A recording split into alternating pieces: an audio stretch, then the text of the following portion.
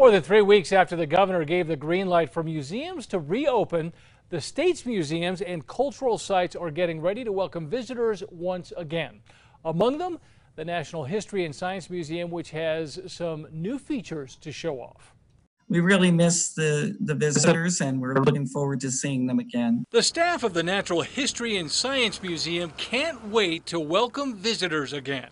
The museum in Old Town has been closed since March, but that doesn't mean they've been idle. The dinosaur wall that was created by Electric Playhouse is a hands-free feature. One of the many new high-tech features installed in the last few months is the touchless Dino Wall, which is both interactive and COVID safe.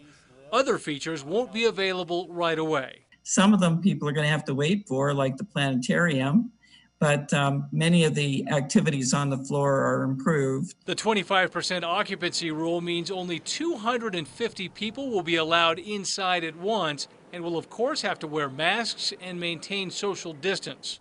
All the state museums are also holding special hours on Wednesdays from 10 to noon. We're opening up to anyone who has a pre a pre-existing condition or wants a little bit more protected experience. The museum has extended a couple of exhibits that would otherwise have been gone by now.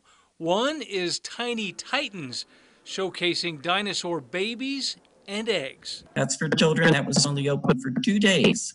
Um, before we closed. The other showcases the work of artist Sakaya Ganz, who creates her sculptures from discarded objects.